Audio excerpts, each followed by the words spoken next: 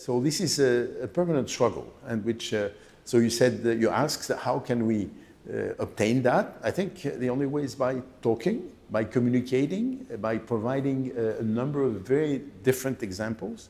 And some examples are, uh, of course, have to do with uh, uh, transformation, that is new uh, economic sectors which appeared and that can show really uh, made an impact, created new jobs, created new environment, improved the life of citizens.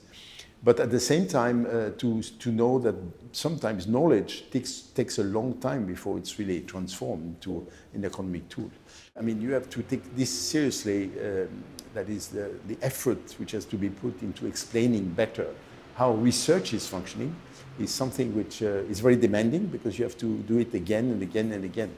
That's uh, an effort which uh, scientists have to accept, uh, but also you need politicians to be uh, open-minded and willing to listen.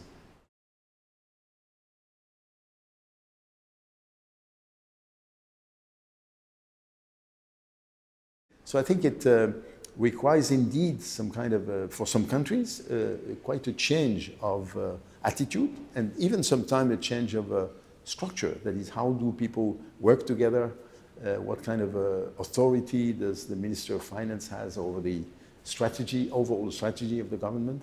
Of course, if you are in a difficult financial situation, if the debt is very important, of course, then uh, the, the, power of the Minister of Finance increases because uh, he, he, needs to control things very tightly.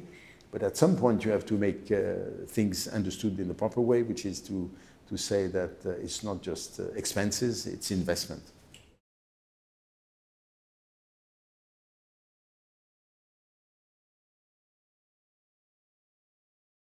It's a very, very important question. And so some of it has to do, it's almost a cultural dimension.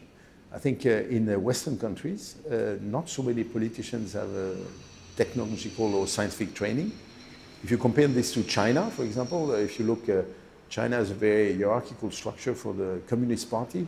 If you look uh, from number one to number 15, I think there are 12 engineers and uh, a physicist, a mathematician, and, and one, one lawyer usually in the European politics, uh, there are many more lawyers than uh, scientists.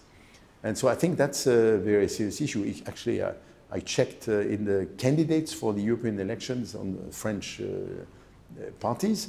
I think there is only one scientist out of all parties uh, candidates, which I think is, so this cultural dimension has to be addressed. That is, there should be more people with a very basic knowledge on science and technology, typically with engineering training, who should be involved. So that's one thing. The, um, the other point, which of course is uh, similar to this one, is of course how do you uh, make the evidence available to, to uh, policymakers.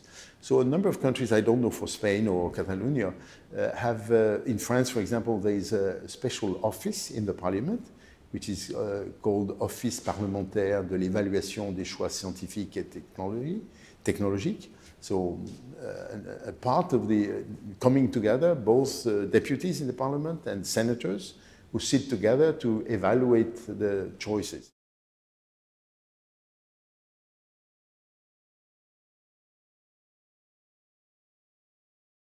Probably there is a, also there a cultural change, but for the academic people, that is to accept that uh, transferring knowledge getting involved in uh, talking to uh, citizens is actually quite important. And if it's important, it should be uh, acknowledged as a component of the activities of the researchers. So some uh, institutions have uh, been definitely making efforts in this direction, not all of them. So I think it's something which I think needs to be looked into more carefully. And um, a typical example, which I think has to be taken into account, is that if you consider this purely this kind of activities, that is getting in touch with citizens or with a, a science policy, is considered just as a, an occupation which takes away some of your time, I don't think it's the right approach. For science, science needs to be evaluated all the time. So when you submit an article, there are people looking into it and saying, well, we, it will be published, it will not be published. And the reason why it is published, not published, is because people have looked into it and come up with a criticism, suggestion to improve, and so on. So I think uh, for this kind of activities, the same should be true. So these activities should be evaluated as the rest is evaluated. So when this is done, then there's a better chance that such activities will be accepted as something which uh, should be taken into account when you look at the career of people.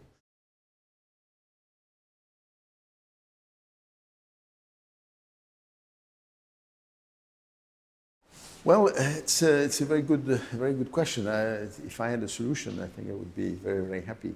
I think, um, as I said, part of it is to reduce the distance between the two communities. That is, which means, of course, that these communities have to meet more often. They have to uh, actually, uh, as, I, as I said, maybe there should be some more interpretation. That is, uh, among politicians, there should be more people with a technical training, or at least that they have in their staff enough uh, technically trained people, uh, which is not so frequent actually. And uh, so this is definitely something which actually should need almost like a, a, plan to, to really give a, some kind of a goal that within, I don't know, 10, 15, 20 years, then all these uh, issues will be addressed in the, in the right way. And from that point of view, uh, I mean, it's very much related to taking a long view, that as I said, I mean, not being blocked by uh, immediate uh, consequences.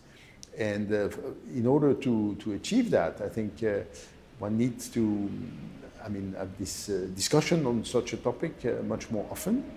And uh, probably also the press is not covering this so much. That is this uh, need to have uh, scientific evidence put at the disposal of politicians, but also citizens. and so I think one has to create some kind of um, eagerness for, for this to happen more often. And of course, it means also scientists have to show themselves more open to this idea, more willing to spend time. And we come back to the incentives that you discussed. I mean, how can you make people uh, more willing to do that if they have the feeling that the, actually the impact on their career will be negative? So you have to make sure that. So there is, on both sides, I think, uh, progress to be made. And uh, a consensus to create that this is really needed if you really want to make the right decisions.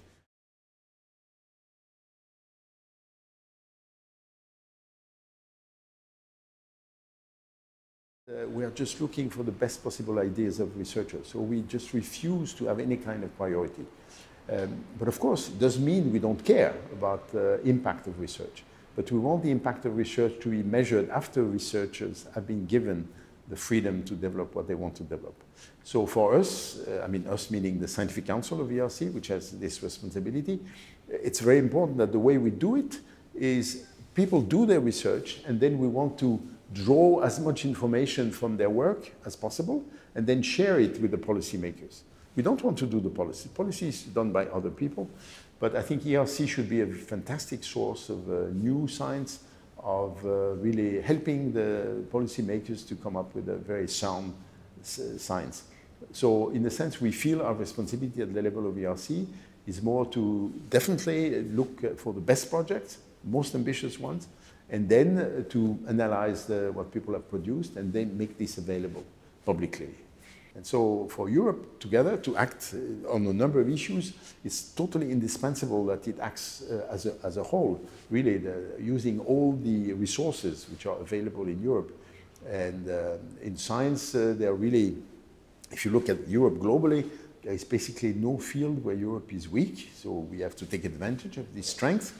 And uh, at the same time, we also have to mobilize the resources in the right way so that we get to the next stage, which is uh, using this knowledge and these resources and uh, also the capacity of training people at a high level uh, towards really more economical activities, more innovation activities, and also get the um, companies in Europe to rely more on innovation than they used to. Are, some of them are a bit conservative, they're just okay with the business, they don't want to be ambitious, but some others are really much more ambitious. If you look at the speed at which the big companies have been developing, both in the US but also in uh, China in particular. It's just amazing in the last years. And at European level, this has not happened at the same pace. So we need to accelerate this process very much. And uh, a lot has to do with the, the whole point of your interview, which was about how do you, you link science and innovation and economic activities.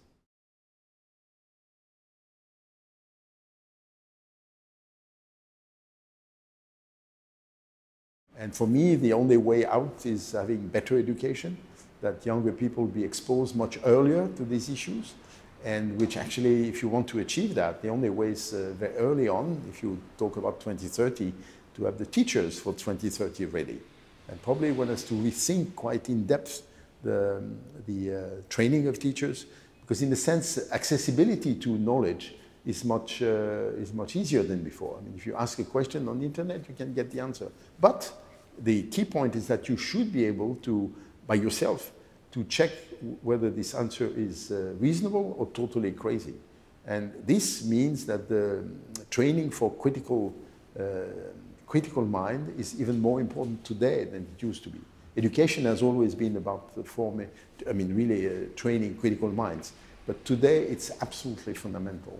And though this should be a very important part of the training in schools, in very basic schools, but of course, the only way you can do that in the right way is by having teachers exposed to that much more.